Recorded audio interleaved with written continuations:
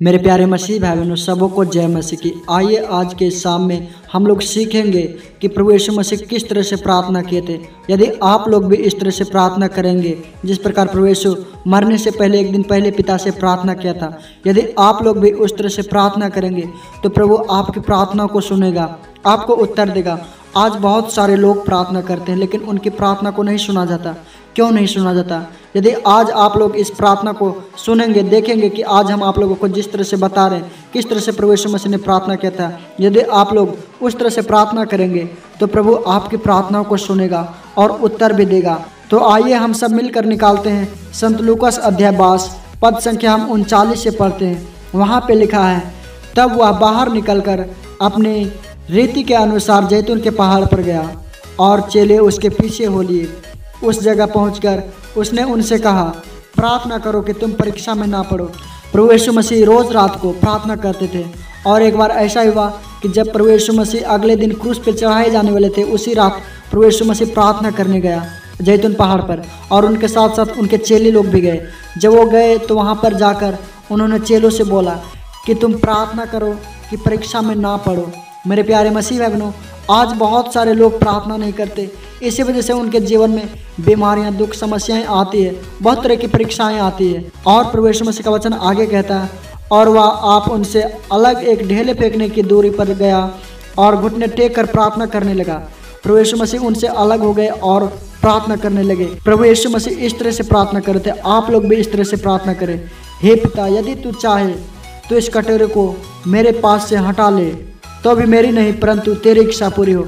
आज बहुत सारे लोग इस गलती को करते हैं कि जाते हैं और परमेश्वर की इच्छा को नहीं मांगते। वे अपनी इच्छाओं को मांगते हैं कि परमेश्वर हमारी ये इच्छा है, हमें घर दे दे, हमें बंगला दे दे, हमें गाड़ी दे दे, हमारे कर्जे को दूर कर दे, हमारे बीमारियों को दूर कर दे। लेकिन वो कभी परमेश्वर की इच्छाओं को नहीं मांगते।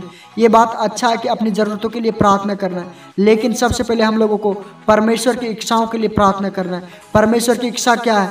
कि आप बुद्धिमान बने आप प्रार्थना में बढ़े, आप आत्मिक बने, ये परमेश्वर की इच्छाएँ हैं। आप परमेश्वर के राज्य को बढ़ाएँ, ये परमेश्वर की इच्छाएँ हैं। परमेश्वर का राज्य आए, लोग बचे, विश्वासियों के लिए प्रार्थना करें, अगवों के लिए प्रार्थना करें, ये परमेश्वर की इच्छा है। लेकिन बहुत सारे लोग ऐसा नहीं करते, वे जाते हैं, अपनी ज़रूरतों को परमेश्वर के सामने रख देते हैं। लेकिन आज आप लोगों को ऐसा नहीं करना, आज आप लोगों को सबसे पहले परमेश्वर की इच्छाओं को मांगना है। जिस प्रकार प्रभु यीशु मसीह ने बोला था कि, हे पिता, यदि हो सके तो ये कटोरा मुझ पर से हटा ले। प्रभु यीशु मसीह बोल रहे थे कि, प्रभु, यदि हो सके तो इस दुख को हटा ले मेरे ऊपर से। लेकिन प्रभु यीशु मसीह ने बोला, मेरी नहीं, बल्कि तेरी इच्छा पूरी हो।